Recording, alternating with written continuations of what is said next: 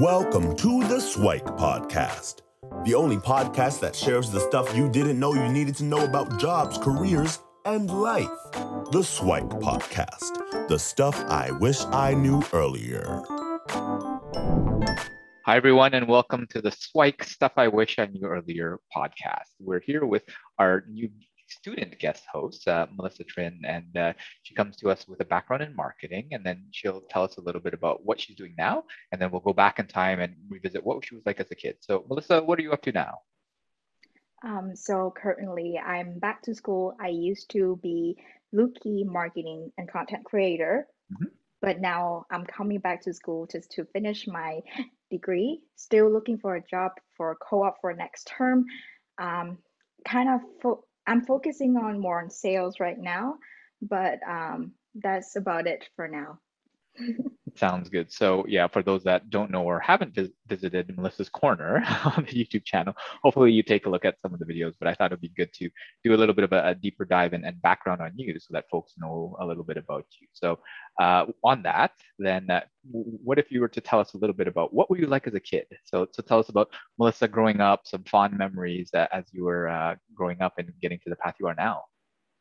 So when I was a kid, I um, I was a different person than I am like than most people. I I like to do things and I so uh, I I don't um when I was a kid I I think I'm very I'm still very outgoing now but um back then I was I I yeah, I was just outgoing. I was loved by my friends and things like that. Uh, yeah, and my family, I was born and raised in Vietnam. So the situation, um, so that was something. And then now that I moved to, and then I moved to um, the States for a little bit, and I moved to Canada. So I've been all around. So I had, I learned a little bit of every culture. So does bring me to who I am today. But yeah, um, still a very outgoing kid and uh, was loved for by my friends and everyone else. Sounds good. So it sounds like that you felt uh, a lot of good relationships around you, uh, and you had a bunch of different experiences. So, uh, walk us through a little bit about well, so you were born in Vietnam, but the journey to, to Canada, um, and and getting into school, and then ultimately um, being a student in marketing, and then obviously getting hired by me eventually. But uh, what was kind of that, that that journey along the way, and and maybe we'll take a few stops on like the interest in, in, in business and marketing. But uh, how, how did you go from Vietnam um, to to Canada? So when um, I finished my ninth grade, mm-hmm. my mom at, at that time, I think ninth grade going to 10th grade, that's like a transition from middle school to uh, high school. Okay. Um, my mom's saving up money. My mom and dad divorced, so she was a single mom. She's saving up money, and she's like, "I'm shipping you to the states." okay. Uh, Melissa bawling. She's like, I was like, "Why are you abandon me? Why do you want me to go to the States? And um, but then I come to sense which uh, I come to senses. I think this is a good thing for me. I talk to people who been to the uh, states. They was consultant, so um, I learned about the state. I went to a little countryside in Oregon, okay. um, very close to Florida. So it's it's beautiful there. Is um, I think there's a slight, slightly snowflakes, and then the school was off for like three days. So um, it was really warm here there too. Uh, I finished my school, my high school, I think I until 11th grade.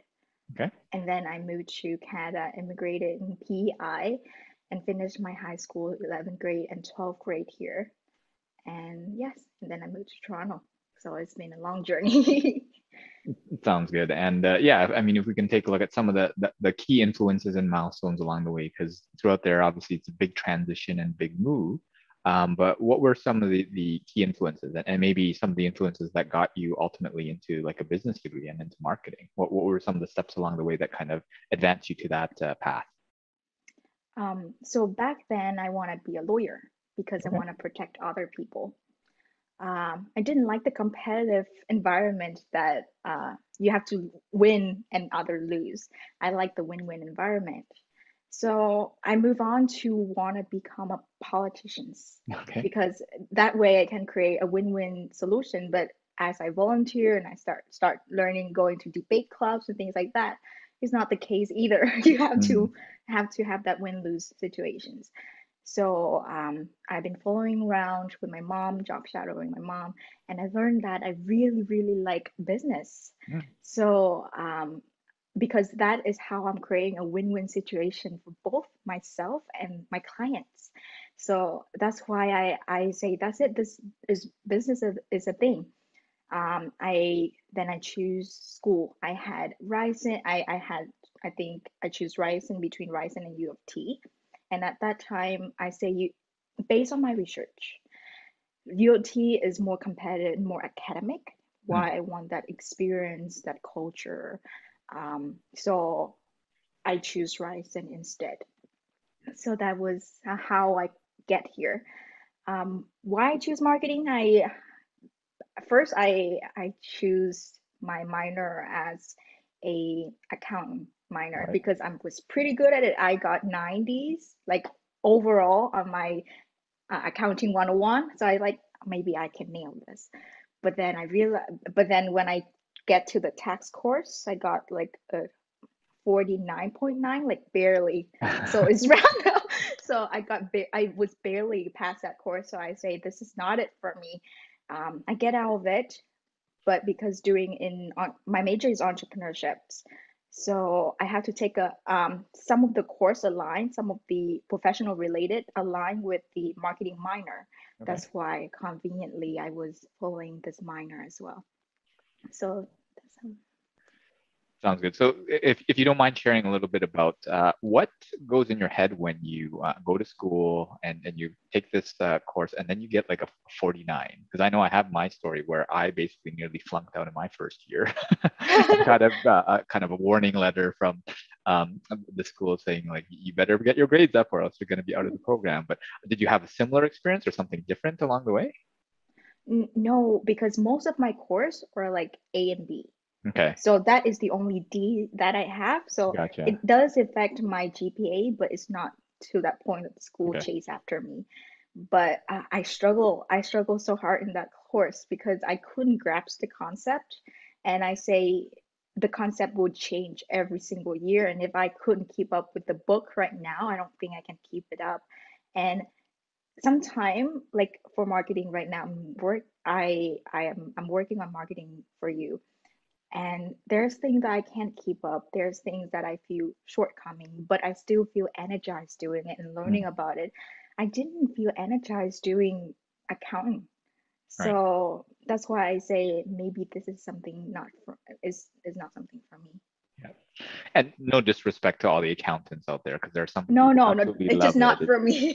exactly. So oftentimes what you need to do is take a look at your, your preferences and your interests uh, and, and especially experience it, right? Because Exactly. sometimes uh, through uh, like an academic course or through um, just what they show on TV or a YouTube video, you get a little bit of it, but uh, to actually go in and do it is, is definitely uh, very helpful. So um, so that kind of brings us to uh, like cl- close to present day and uh, talk to us a little bit about uh, i guess um, some of the the different um, i guess milestones recently. So obviously you started with uh, the, kind of the co-op term and um, you you tried to grow like youtube channel and, and instagram and stuff like that.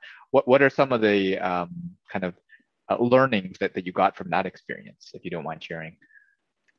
Um, the learning I got from it is I really enjoyed it. I really enjoyed the creativity aspect of it. I really enjoyed the communication strategy strategies, and then I really enjoy like looking at the data data and and and trying to understand what does people want.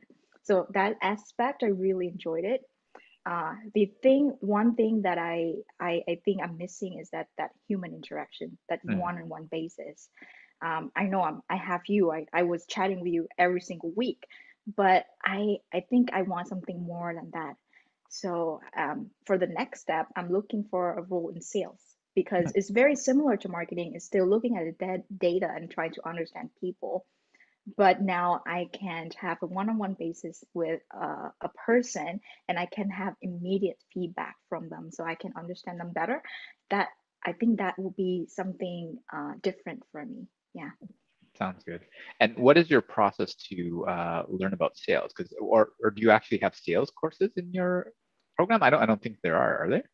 They are sales courses, and okay. I just learned out that they actually have a sales and customer service minor. Okay. That I had that I didn't know, but um, I I had sales course. is called um, effective persuasion is is a marketing course, and then there's right. uh, entrepreneurship sales is an entrepreneur course. So I do have some sales course, and I'm also in the sales can't talk today sales leadership program mm-hmm. um, so the sales leadership program is now is recognized that we are one of the um, best english um, sales program uh, at, at, in canada so cool. i'm really excited for that uh, i got training i got a lot of training from the program i have a mentor um, who is a sales professional who's helped me with all the strategies and things like that. And then they put me in case um, in sales competition, so I can practice my sales skill as well. So I think that will help me um, stand out from other applicants. Sounds good. And uh, obviously, we just kind of glossed over a lot of your history because there, there's a lot of things that happened in the US, in Canada, and all your transition points, but we'll probably save those for future episodes. But if you were to sum up a couple of pieces of SIWIKE, the stuff I wish I knew earlier to uh, young Melissa uh, in kind of various uh, tumultuous times in your in your career and your life, what, what are some of the maybe the top three that, that you might share with yourself, or, or if you have more or less, then that's fine too. So, what is some of the SIWIKE that you would have shared for your younger self? Um, one thing I, I don't I don't think I think mm, I don't I wouldn't change anything that young Melissa have did because that what make me today, and that what what make me me today. But uh, there's one thing that I wish young Melissa would do that is having an open mind and hmm. actually mm. enjoy the ride. That's um, and for any of the um, uh, any of, of the the high school university student out there sometime when you when you expect a goal like if i achieve something for me to be happy um it's become draining and your your happiness will become really short term okay. so for example when you get you say um, i when i get to when i get to um, gpa 4.0 i'll be ha- happy you got your GPA 4.0, you're happy, and your happiness will be really short. Now you have to right. chase another goal. So instead, enjoy the ride by enjoying the learning process and enjoy um, everything that come along and enjoy the challenges and enjoy the the ups and downs. So that would make my life that that would make young Melissa a lot a lot happier. Right. Uh, yeah. Yeah, and I think that's the typical uh, the quote where life's about the journey, not the destination. And uh, what what comes to mind is is another quote that I love. It's uh, for for there is nothing good or bad, and thinks thinking makes it so. Right. Yeah. So whatever you're doing in the moment, whether it's you're achieving your goal, you're failing, or you're doing whatever, it's up to you to, you to make something of it. Right. Um, yeah. And and failing is kind of in, in air quotes in the sense that well, it, it's not failure. The only time it's failure is when you stop right? Yeah. and then then that's the ultimate failure. But if you keep on going and you learn from it and you get better and you grow well then that's something that you can do. So having that that open mind and that's probably something that i wish that i did more of instead of just kind of holding back and not even trying and not even uh, putting that forward um, well, that's definitely a, a good um, good piece of advice for for yourself, even though you wouldn't change yourself. but that's something that, that I'm, I'm sure could, could have been helpful for yourself. So, uh, are, are, there any other words of wisdom that, that you'd want to share with folks, or what are some of the uh, future aspirations that we can look forward to, to hearing from you? Um, for now, still, if you haven't subscribed to the Focus Inspire channel, focus uh, subscribe because there's a lot of episode from Luki and also from myself from the, my corner um, coming out. Comment on what you want us to talk about, um, and check checking on us uh, often because we have a lot going on, and we love to share our ideas and our aspiration and our um, insight for you.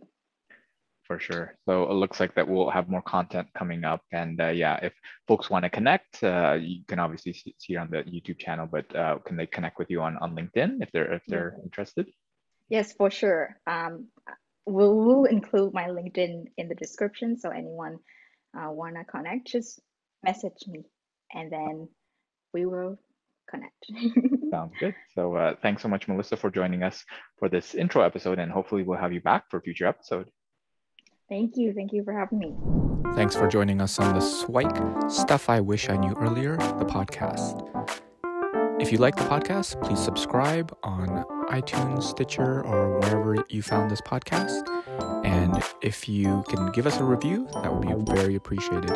Feel free to contact me on LinkedIn at Luki Danu, L U K I D A N U, and the same on most social media platforms. And I look forward to hearing from you. Thanks. Bye.